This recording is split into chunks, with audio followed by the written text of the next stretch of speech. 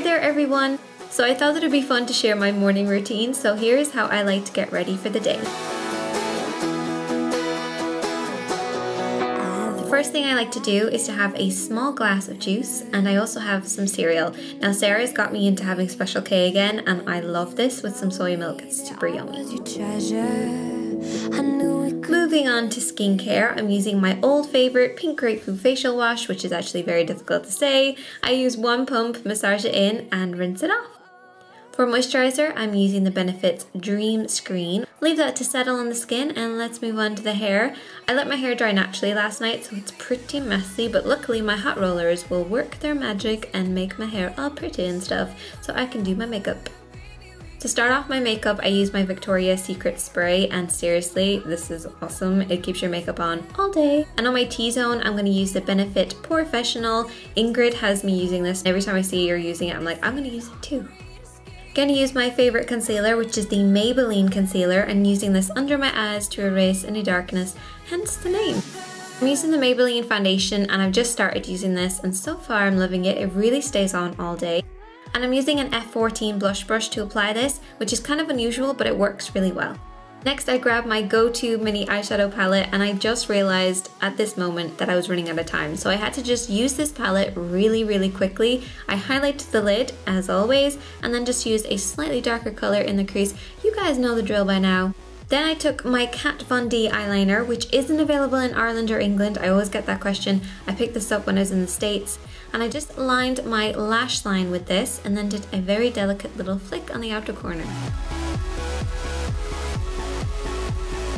I'm still pretty scared about curling my eyelashes since that unfortunate incident a few weeks ago, but I do like this one because it doesn't have a spring, so it's a lot safer. Mascara today is the Benefit They're Real Mascara. I love this mascara and I actually apply a lot of mascara and then it also ends up on my cheeks, but hey, just let it dry and it'll flake away. Moving on to the brows, I outline the brows to begin with and then I just slightly fill them in. I'm a little obsessed with brows at the moment because it's such an easy way to look done and polished, I think. If you want me to do a five step tutorial on how I'd like to do my brows recently, then just let me know. And I also use a highlighter just around the edge for that clean finished look. Next I'm going to use the Benefit Sunbeam. This is a golden tone liquid highlighter and I dot this onto my cheeks and then blend it in with my foundation brush. I also use whatever's left over on the brush kind of around the rest of my face just for fun. Guess what setting powder I'm going to use? Yep, it's the Maybelline 24 Hour. Love this stuff, seriously. Everyone's asking me what's on my face, what foundation am I using, and it's all down to this powder. It is flawless. I went for a coral kind of blush instead of the usual pink, and I just swept this over and back onto my cheeks. Next I'm going to use a little bit of bronzer on the top of my forehead, and yes, I am singing. For the lips, I wanted to keep it nude and coral, so I used a nude lipstick to begin with, and then just top that off with a coral lip gloss. I also added some corner eyelashes for a little bit of fun because I love fake eyelashes. I would wear them every day. Like, I love them.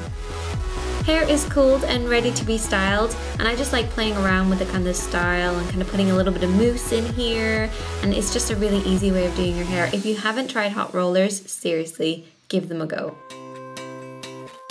So for my outfit, I knew I wanted to wear some skinny jeans and I love these white shoes. And then I paired it with a white shirt because it's the summertime and it's nice and breezy and light. And now I am ready for my little meeting and I did some sneaky window shopping as well. If you missed my lookbook that I did with my best friend, you can check it out here. We had so much fun.